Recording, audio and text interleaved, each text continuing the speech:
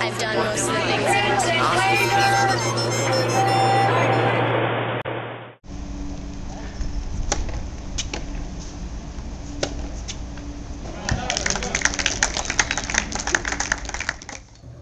Pedro Zerbini, the top player on the Cal men's tennis team, has had a successful fall season so far, advancing to the round of 16 at the All American Championships and making it to the finals of the Wilson ITA Northwest Regionals. Yet, for all his personal accolade, the humble Zerbini is focused on his team.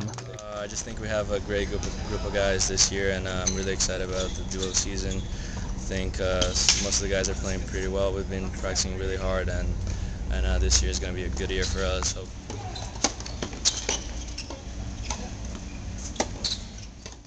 Yet, being a team leader also brings new challenges. being one of the upperclassmen, that's that means a lot. It- It's got a, like a, a, a new set of responsibilities behind you. You know, like setting an example for the for the younger guys.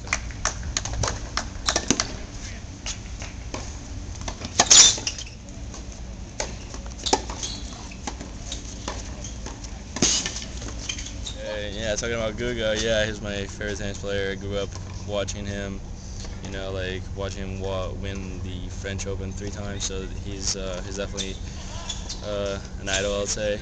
And I actually had the chance to meet him a couple times, so that's that was great. It was, he's, he's a really nice guy, and uh, he was great for the country and for tennis.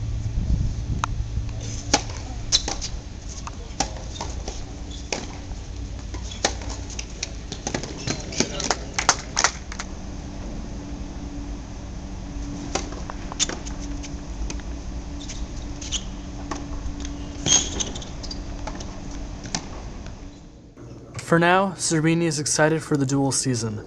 A Pac 10 championship, he said, is not out of reach.